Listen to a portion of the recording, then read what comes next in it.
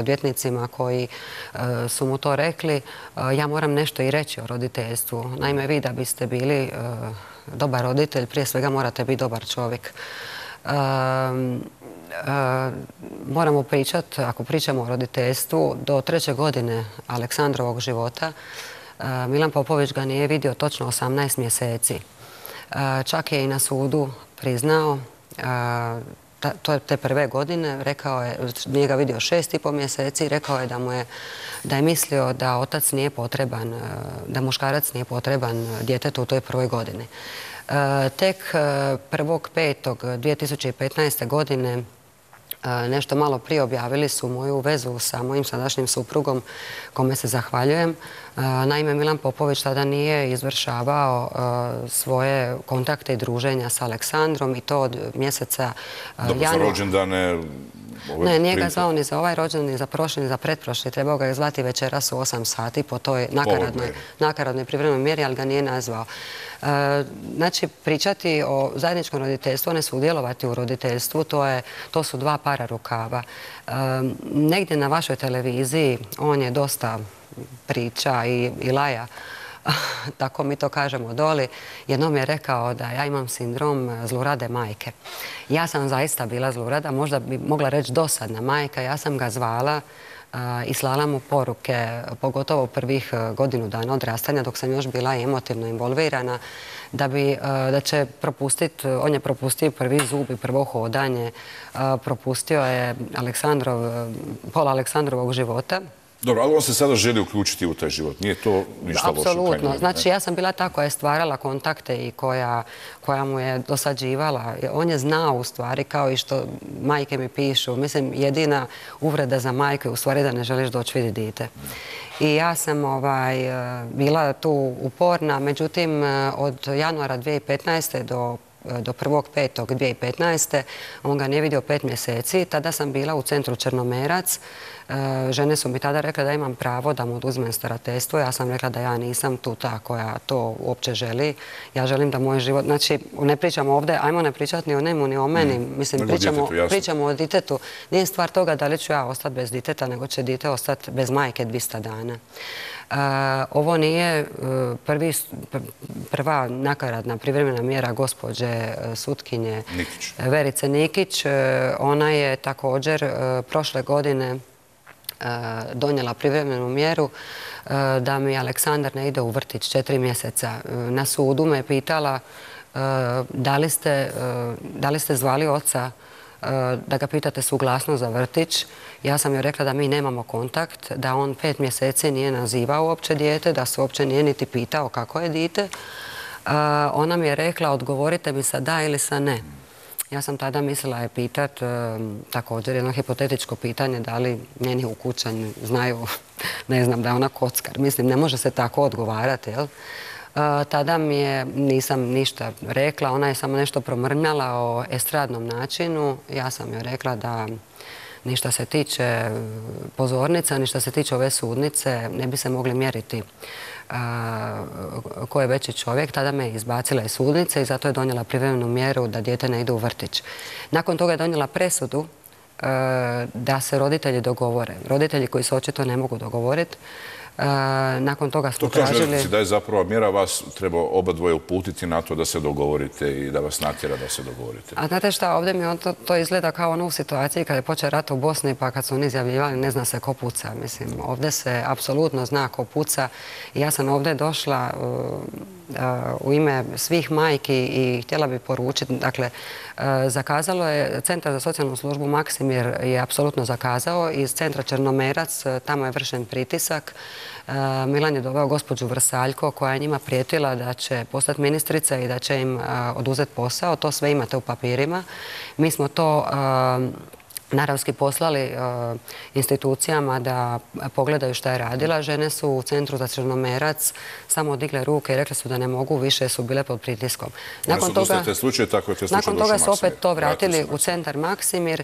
To je bilo u devetom mjesecu. Tad se tek e, počeo e, raditi njihov stručni tim. Kako sam imala loše iskustva u Maksimiru, pitala sam se zašto su vratili u taj centar. Naime, Tamo su žene odustale od... Aha, zašto su vratili u Maksimir? Da, zašto su vratili u centar Maksimir? One su nakon e, dva mjeseca, dakle kada Milan Popović u jednom periodu nije vratio dijete na adresu e, moju, e, to je bilo 13 dana, ja sam tada apelirala na centar. Oni su rekli da ja odem sama po dijete. Ja sam tada bila u vrlo jednoj situaciji, nisam se smjela izlagati stresu, točnije mhm. zbog mojih godina, evo sad ću vam reći, išla sam na umjetnu oplodnju. Otišla je moja mama, on joj nije htio dati e, dijete. E, ja sam morala razgovarati sa policijom koji su morali urgirati. Policija je digla kaznenu prijavu protiv njega jer ga nije htio vratiti ni prvi put kad su ga upozorili. E, tek kad su mu rekli da će morati podići protiv njega kaznenu prijavu, on je doveo dijete. E,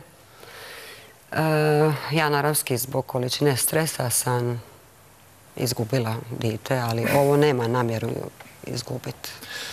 Dobro, ovo je, stvarno potisno i traumatično, ali e, vi tvrdite zapravo, ok, Milan Popović može biti ovakav onakav zao čovjek, institucije bi tu trebale raditi svoj posao. Gdje su one po vama zakaze, gdje vi osjećate zapravo pa- da su najveće rupe u sustavu? Pa ovako, kada sam... E, kada sam onda nakon toga što, su, e, što je socijalna služba Maksimir bila isključivo na njegovoj strani. U stvari su ga podupirali u tome da krši presudu koja je bila tada donesena, a to je da nije vratio dijete na adresu majke.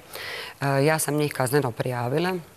Sedam dana nakon toga je donešena njihova mjera da dijete ide pola-pola. Do tada su i vještaci i svi rekli da dijete koje je živjelo s majkom sretno pet godina i nastavi živjeti s majkom. I centar Črnomerac. E, nakon toga e, je počela ta moja totalna e, neizvjesnost, pritisci s raznih strana, njegova gostovanja po emisijama koje smo mi izdržavali čutke, ja i moja obitelj, četiri godine.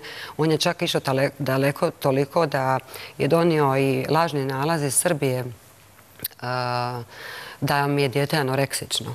To smo morali dokazivati u, u poliklinici Gordane Buljan-Flander da nije. Oni su mi rekli pa dobro, sad nije. Pa sad se kao mirni. da, zbog ovoga što smo vidjeli da se zapravo slikate s djetetom po društvenim mrežama, pa da je to kao sporno. Jeste sad s tim stali ili što je s tim, s tom tužbom? Ta tužba je pala, povučena? Ne, to je sve palo i odbijeno. Naime, znate šta, ja sam E, majka i ponosim se svakim korakom svog diteta. Milan Popović e, je čovjek koji se slika sa mnom u kojoj god prilici je to bilo i nije mu smetalo. Moram reći jednu anegdotu kada sam ja rodila dijete i naime na samom porođaju je bilo problema pošto zbog mojih godina e, zahvaljujem se svim doktorima i sestrama u, rodilištu Split koji su bili krasni. Doktor je odlučio da zbog mojih godina moramo napraviti carski rez. Milan Popović je vikao na njih i rekao da se ne mogu igrati Boga. ja sam išla u rađaonu, trebala sam se po njemu poroditi prirodnim putem tada je on um, uh, samo nastavio, oprostite, skoro sam se zbunila i ne znam koje je bilo pitanje, aha, za Instagram. I tada kad smo izašli iz uh, rodilišta, on je rekao mom Tomici Petroviću da zove Gloriju i da proda slike djeteta za 50.000 eura. Ja sam bila zgrožena uh, jer sam objasnila da on nije Brad Pitt ni Angelina Jolie skupa. Mene su uhvatili, nisam izlazila iz kuće, ja sam bila na balkonu u Splitu, tada su me uhvatili, ne znam, dole sa plaže. Uglavnom,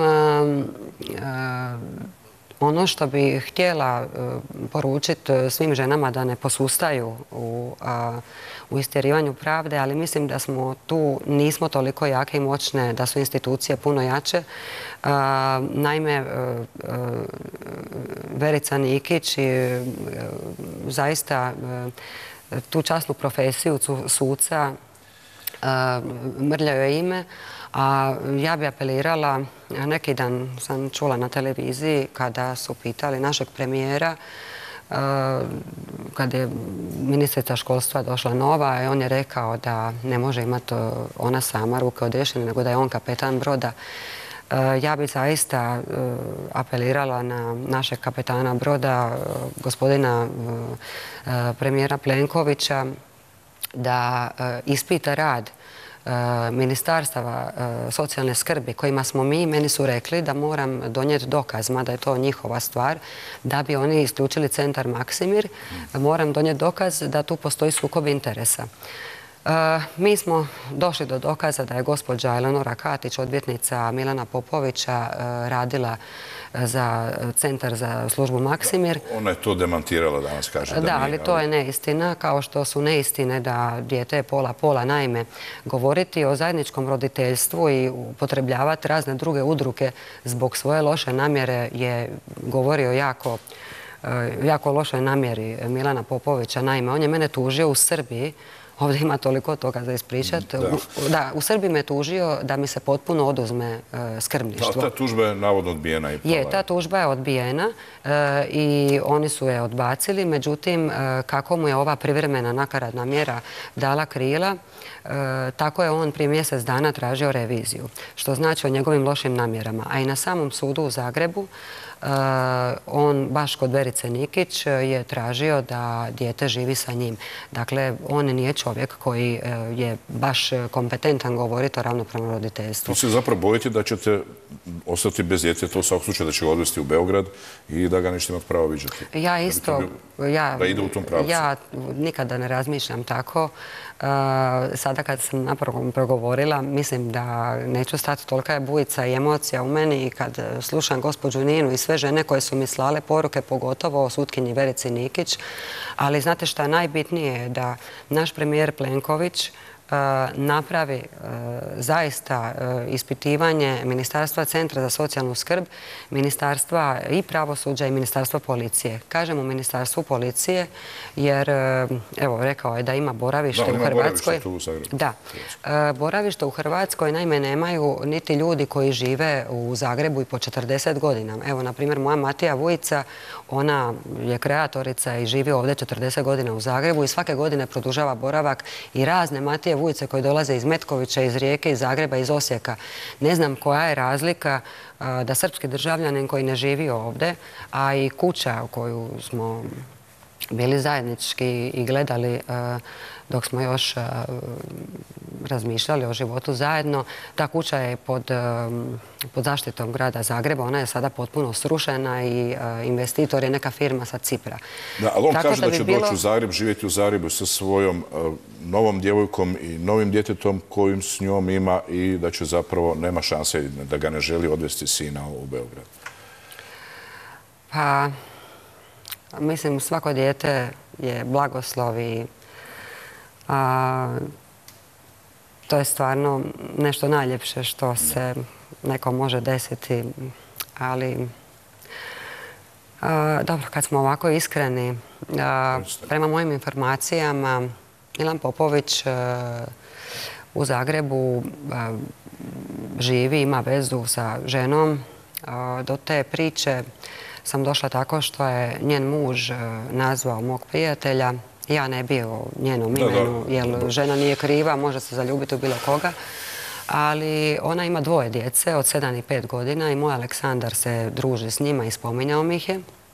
Naime, e, muž je ispričao da su se oni razveli e, prije tri mjeseca upravo zbog Milana Popovića. Oni su iz jednog katoličkog braka, 12 godina zajedničkog života. To je druga veza koja nema veze sa onom nema veze sa ovom, da. I e, stvar je toga da e, također e, Milanova advokatica Eleonora Katić je njena advokatica, ali njena djeca imaju sreću da, da otac koji je hrvatski državljanin svaki drugi vikend posjećuje djecu. Njena djeca su ostala zaštićena, a moj Aleksandar nema to pravo. E, tako da zaista apeliram na gospodina premijera da se više nikada to ne dogodi ni jednoj e, majci u Hrvatskoj i ja se nadam da će, da će to biti... Sredna vam se da će ovo sve na kraju posretno završiti e, i za vas, ali prije svega zbog vašeg djeteta. Hvala lijepo na ovom razgovoru. Hvala vam. Sutra ćemo o svemu ovome, o problemima i sudstva i sustava socijalne skrbi kada je riječ o skrbi na djecom, poštovani gledati, razgovarati s pravobraniteljicom za djecu, gospođom Ivanom Milas Klarić. Do, hvala vam lijepo na pozornosti, do sutra, lako vam noć.